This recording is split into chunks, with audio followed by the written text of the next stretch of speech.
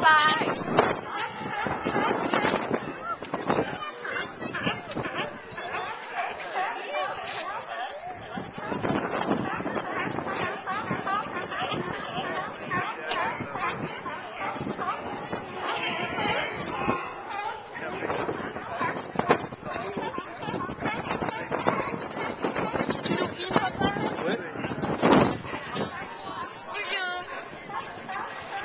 Talvez trabalhe, mas não fez o jogo.